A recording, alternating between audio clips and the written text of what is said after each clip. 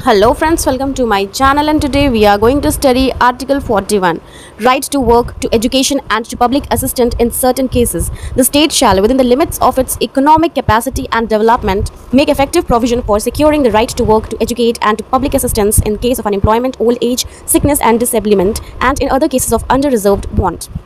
Article 41 हमारा एक DPSP है और ये आर्टिकल सोशलिस्टिक प्रिंसिपल पे बेस्ड है आर्टिकल 41 हमारे स्टेट से बोलता है कि कृपया करके भारत की जनता को तीन प्रकार के अधिकार प्रोवाइड करो। Right to work right to education and right to public assistance यानी कि कोई व्यक्ति बेरोज़गार है तो उसको पढ़ाओ लिखाओ, फिर उसको काम प्रोवाइड करो। अगर कोई व्यक्ति बूढ़ा है, बीमार है या किस, किसी तरीके का डिसेबिलिटी है बॉडी में तो ये सरकार की ज़िम्मेदारी है कि उनकी मदद करे। That is public assistance but दोस्तों, इस आर्टिकल में एक लाइन और है कि सरकार को ये राइट प्रोवाइड तो करने हैं but within the economic limit मतलब सरकार के पास अगर पैसे हैं तो सरकार ये सारी चीज़ें प्रोवाइड करेगी। अगर पैसे नहीं हैं तो सरकार इस चीज़ को अवॉइड कर सकती है।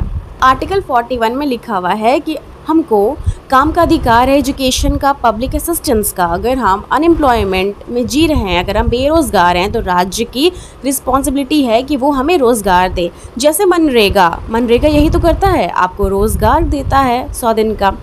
ये कहता है कि हमको एजुकेशन का अधिकार है, सरकारी स्कूलों में फ्री शिक्षा आपको स्टेट दे रहा है। पब्लिक असिस्टेंस मतलब आप डिसेबल हैं तो आपको पब्लिकली असिस्ट किया जाता है, आपको विकलांग पेंशन मिलती है। ये सारी चीज़ें आर्टिकल 41 में लिखी गई है।